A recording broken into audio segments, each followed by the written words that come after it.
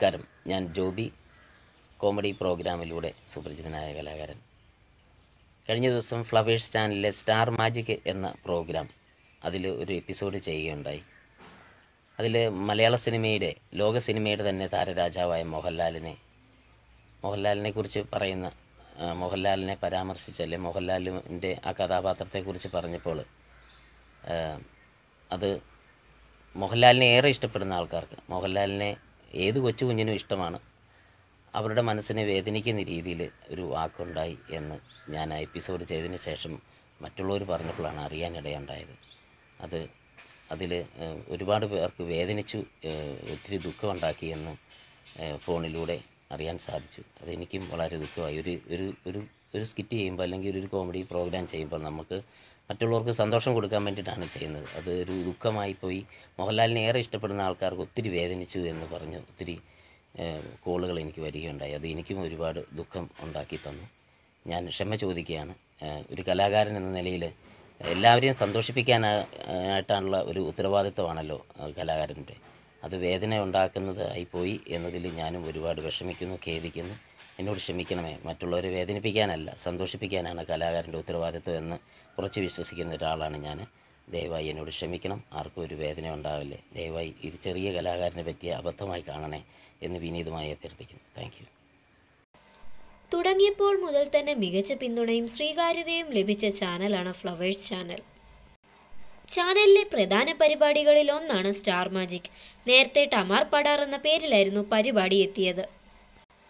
ലക്ഷ്മി നക്ഷത്രം അവതരിപ്പിക്കുന്ന പരിപാടിയിൽ മിനി സ്ക്രീനിലെ താരങ്ങളാണ് അണിനിരക്കാറുള്ളത്. ബിഗ് സ്ക്രീനിലെ പ്രമുഖരുൾപ്പെടെ നിരവധി പേരാണ് അതിഥികളായും എത്തുന്നത്.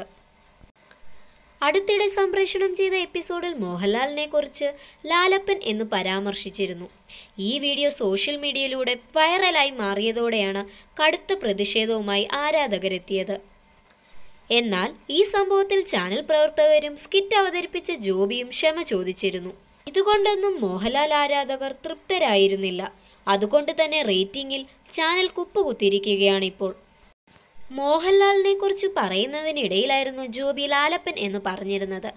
അസീസ് ഉൾപ്പെടെയുള്ള താരങ്ങൾ വേദിയിൽ ഉണ്ടായിരുന്നു. വിമർശകർ പോലും ലാലപ്പൻ എന്ന തരത്തിൽ പറയാറില്ല എന്നും തമാശ അതിര് കടന്നുവെന്നും ഇത് ശരിയായില്ല എന്നുമായിരുന്നു ആരാധകർ ഒന്നടങ്കം പറഞ്ഞത്. വീഡിയോ ഡിസ്ലൈക്ക് കൊണ്ടും അതുപോലെ തെറിവിളികൾ കൊണ്ടും നിറഞ്ഞു. തുടർന്ന് ചാനലിന്റെ ഫേസ്ബുക്ക് പേജിൽ നിന്ന് തന്നെ വീഡിയോ മാറ്റുകയായിരുന്നു. സോഷ്യൽ മീഡിയയിലൂടെ നിമിഷ നേരം കൊണ്ടായിരുന്നു ഈ സംഭവം വൈറലായി മാറിയത്. അതോടെ ശക്തമായി പ്രതിഷേധവുമായി ആരാധകരെത്തുകയായിരുന്നു. ഫ്ലവേഴ്സ് ചാനലിൽ റേറ്റിംഗിൽ ഏറെ മുന്നിലുള്ള പരിപാടികളിൽ ഒന്നാണ് ഉപ്പും മുളകും.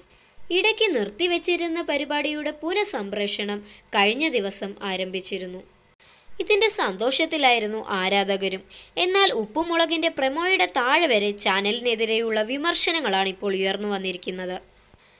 ചക്കപ്പഴം എന്ന പുതിയ പരിപാടിയുടെ വീഡിയോയ്ക്ക് കീഴിലും ഇതുപോലെ തന്നെ വിമർശനങ്ങൾ ഉയർന്നു വരുന്നു. ചാനലിന് നേരെ ഇപ്പോൾ കടുത്ത പ്രതിഷേധങ്ങളാണ് ഉയർന്നു വരുന്നത്.